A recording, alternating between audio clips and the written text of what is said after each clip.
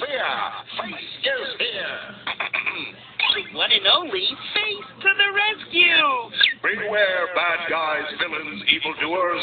I'm Face the Superhero.